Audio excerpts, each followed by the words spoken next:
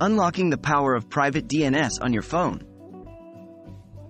Hello, and welcome to today's video. Today, we're going to be discussing an intriguing topic, private DNS.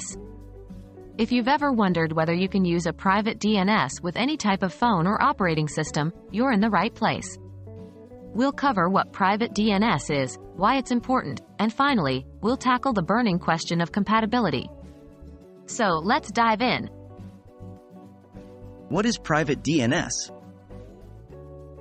Before we delve into the compatibility of private DNS with different phones and operating systems, let's first clarify what private DNS actually is.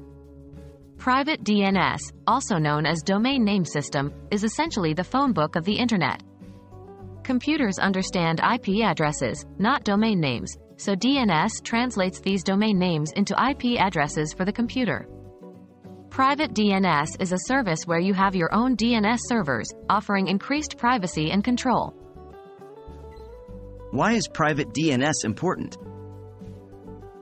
You might be wondering why you should consider using a private DNS. Well, there are a couple of reasons. Firstly, a private DNS increases your privacy.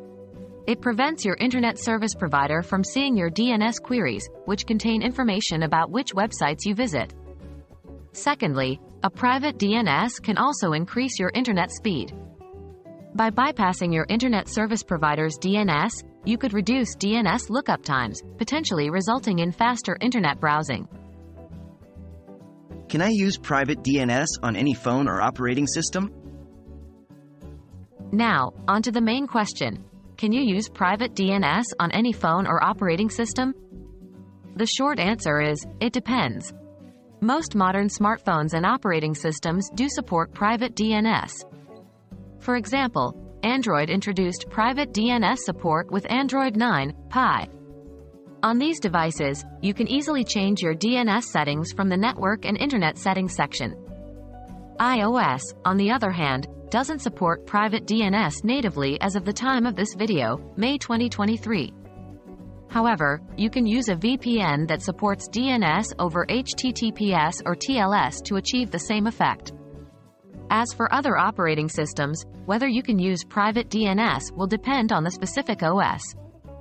Some might support it natively, while others might require additional software.